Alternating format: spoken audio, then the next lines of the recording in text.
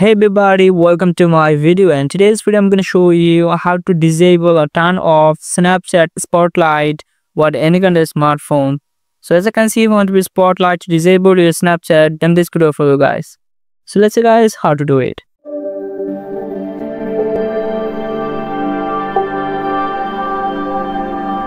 well the first thing to do is to open up your Snapchat first. And simply is to be tap the profile icon at the top and simply is going to be tap setting in the top again to right. Alright guys, now to scroll down here the option called notification, simply tap this on a spot.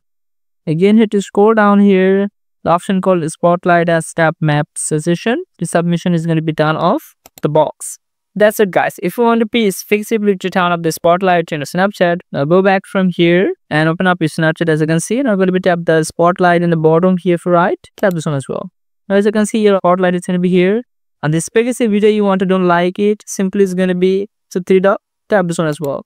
I'm going to tap not interested. Tap this one as well. This video not going to be suggested for more.